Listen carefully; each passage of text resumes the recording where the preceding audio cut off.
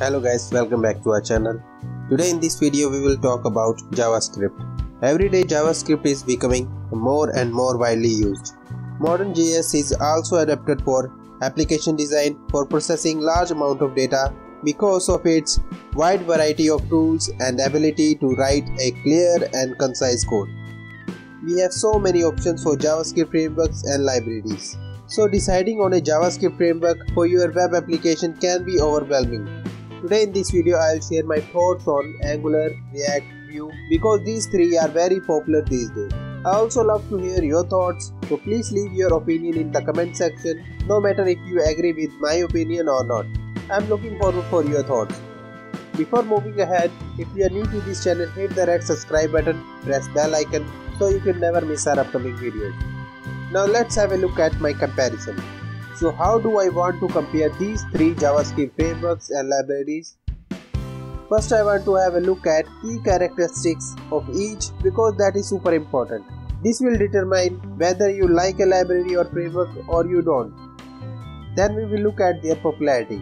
This also matter if you are looking for a job working with this or if you want to know where this industry is moving. Then we will look at the job market, the learning curve which is very important and last but not least we will look at the performance. Performance obviously matters.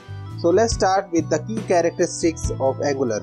Angular is developed and maintained by google which is pretty good. It is extremely popular and used by many large companies like Google, who has developed Angular, YouTube, Upwork, Freelancer, Udemy, Telegram, and other many large companies. Angular is a complete framework, a rich set of tools, and follows a component driven approach that helps you with developing modern web applications. The cool thing about Angular is that it includes routing, state management solution, form validation, HTTP, all these things that help to scale your app or help to build a bigger application. All these tools you will need for large applications ships as a part of Angular, developed by the Angular core team. So you don't need to rely on third-party vendors. If you want to turn your application into progressive web app, well there is an official package for that. It has all the package of the all core features you might want to add in your application. This of course gives the developer a lot of power to add such features easily. Angular uses TypeScript, a superset of JavaScript that is considered a separate programming language. TypeScript has significant advantages like auto-completion, navigation, as well as advanced refactoring possibilities. Those make TypeScript a primary choice for large-scale applications. However, if you don't know it, you cannot jump right in. You have to learn TypeScript first. It is not hard though. Angular is not suitable for micro apps or microservices because Angular uses TypeScript and it is a complete suite of frameworks. That's why it is more suitable for single page applications rather than microservices. Angular uses two-way data binding that enables singular behavior for app which minimizes risk of possible errors. If you don't know what is two-way data binding, it is referred to the mechanism where UI fields are bound to model dynamically. When UI elements change, model data is being changed accordingly. On the other hand, in one-way data flow means only the model can change the app state. You can also build mobile apps with Angular with the help of Ionic. Ionic always focusing on Angular. For that, you don't need the knowledge of Android or Swift programming. You can also use the NativeScript alternative of Ionic and it embraces Angular. Now let's have a look at React. React is developed and maintained by Facebook and that of course it is a very large company which actively uses React in many or pretty much all of its applications and therefore obviously React is actively maintained, gets updates regularly, gets new features and enhancements regularly. Of course this is pretty good though it has one possible downside. You might need to update your app from time to time though the updates to react is pretty easy and there are rarely very very rarely a risk and if there are you got a plenty of time to adjust it is extremely popular and used by many large companies like Facebook that developed and maintained React, Netflix, New York Times, Dropbox, and many other large companies. React known as a JavaScript library for building user interface and also follows a component driven approach. Because React is a library, it means it focuses on one or few things. It is not a complete suite of tools if we compare it with Angular. The component thing is more important thing though. Components are basically reusable UI elements. React uses JSX. It is basically HTML in JavaScript, but not entirely HTML. For example, you cannot use class when you are assigning a CSS class. It is a class name instead. Generally, it is okay, but I am personally not the biggest fan of this everything in JavaScript approach. The main reason I don't like this because mixing HTML and JavaScript all together then the code doesn't look cleaner. It may has its advantages. There are people who love this approach. Overall it's just how React works. As already mentioned, React is a library and it is not a complete suite of tools. For example, you need to add routing and that is not included in the React. Instead, there is a pretty popular library, React Router. It is the same for the state management. There is a Redux for us. But these packages are not from the React core team. These are developed and maintained by the React community. So you have to rely on third party vendors and for some packages you have additional things to learn. That is something you might or might not like. React provides flexibility to select the things which are important for the app. So React offers more flexibility for developing micro apps and microservices. In my opinion, this is one of the best part of the React. React uses one-way data binding, so it updates the model first and then it renders the UI element. And only the model can change the app state. You can also build mobile apps with the help of React Native React Native is very popular and very good in performance as compared to Ionic. Now let's have a look at Vue. Vue has very nice features from React and Angular. In my personal opinion, developers of Vue has picked good features from Angular and React and it merges them pretty well. Vue is yielding almost the best of the both worlds. Vue is developed and maintained by a former Google employee named Evan You. It is extremely popular amongst developers, but unfortunately, very few large companies using Vue, though it is slowly picking up and it is getting adopted by more and more companies. Xiaomi, Alibaba, Euronews, GitLab using Vue. Vue is complete framework like Angular, though a bit reduced and has fewer features than Angular, and also follows a component-driven approach. In Vue, you also got routing and state management provided by the core Vue team and that of course makes moving toward large applications. Maybe a bit easier since you can rely on these packages always being available since developed by the core Vue team. And you can rely on Vue getting updated and these third party packages immediately being updated too. So that is pretty cool to have. It has less packages than Angular does have. For example Vue has no official form validation library. There are community packages of course Vue uses native web APIs, HTML templates, CSS. It is pretty similar to Angular regarding that, especially from a syntax perspective when we talk about its template maybe to Angular 1 or partly to Angular 1. But it has some ideas from React and it really merges in a nice way. I personally like its syntax a lot because it looks very nice, clean and well structured. Similar to React, Vue provides flexibility to select the important things for the app, so it offers more flexibility for developing micro apps and microservices. Vue uses both two-way and one-way data binding. One-way data binding is enabled by default.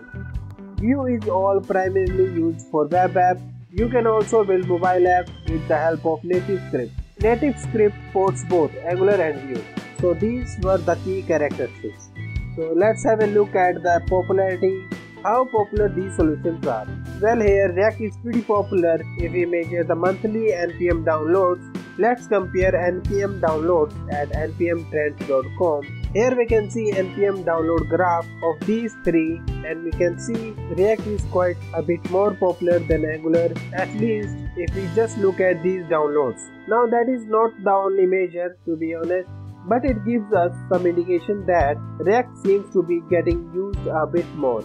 Now Vue even less, although this is rising, still is highly liked in developer circles if you look at GitHub stars. On GitHub you can see Angular has 43,000 plus stars, React has 116,000 plus stars and Vue has 120,000 plus stars. Vue is super popular, but regarding users and npm downloads, it is a weak but rapidly rising. If we look at job market, popularity and job market kinda go hand in hand. If we see this npm downloads, it indicates that for React has more job offers and than Angular and Vue has very few job offers. I found this graph from a Medium article which claims that for React has 78% job offers, Angular has 21% and Vue has least 0.8%. The job market also depends on the location. For example, in India, there are lots of job offers for Angular. In United States, React jobs are lots, and in China, Vue jobs are lots. And I love to hear which framework is popular in your area. Please tell us in the comment section. Let's have a look at learning curve. This is I think very important if you want to start learning any one of these three. You need to make sure it is easy to learn and you are comfortable with it. Let's start with Angular. Angular uses TypeScript as I already mentioned. TypeScript considered as a separate programming language. However, if you do not have knowledge of TypeScript, you cannot jump right in Angular. You have to learn TypeScript first. It is not hard though. Some of the Angular features like dependency injection are pretty cool, but also a bit more complex, so you have to invest a bit more time to learn this. So there is a definitely a steep learning curve for Angular. Although React is considered much easier to learn compared to Angular and more difficult than Vue. In particularly, to create application on React, you will need some experience with JSX. Learning JSX is easy. It is basically SQL in JavaScript. Vue is pretty easy to learn. It uses pure JavaScript and coding in Vue feels very clean and well structured. Companies switching to Vue because it is extremely easy to introduce new developers in Vue projects and Vue can be used for medium to large scale web applications. I think this is the main reason it is very popular in developers circles. Now let's have a look at performance.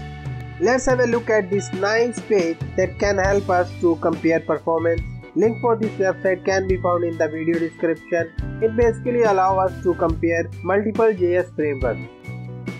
I am here selecting Angular 7, React 16 and Vue.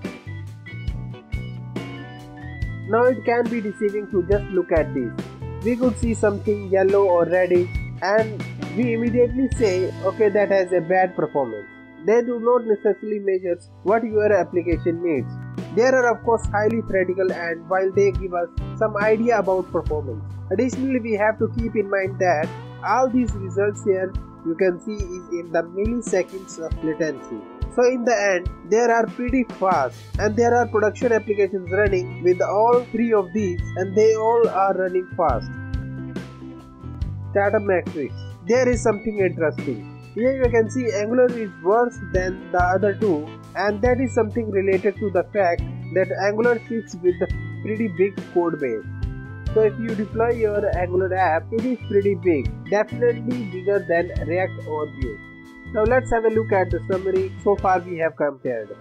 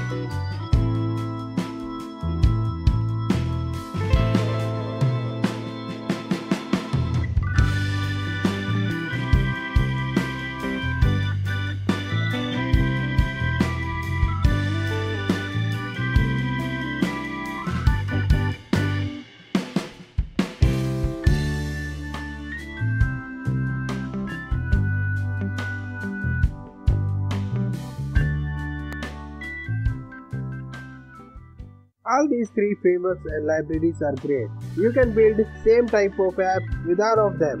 There is no better or worse one. They follow different philosophy and approach. I can only encourage you to at least briefly dive into each one of them and get an idea how the code looks and then dive into one deeper. If you have time, learn two of them in more focused way. What is your opinion on these three? Share your opinion on these three in the comment section. I am looking forward to your thoughts. If you like the video, hit the like button, share this video and don't forget to subscribe us. See you in the next upcoming video.